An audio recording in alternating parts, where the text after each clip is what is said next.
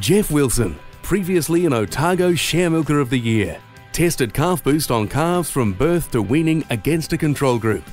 These groups were randomly chosen by birth dates.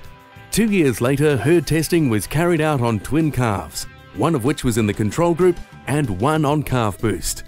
Treatment versus control. The average growth rate of calves on Calf Boost showed an improvement of 14%, and this meant on average a two weeks sooner arrival at weaning weight.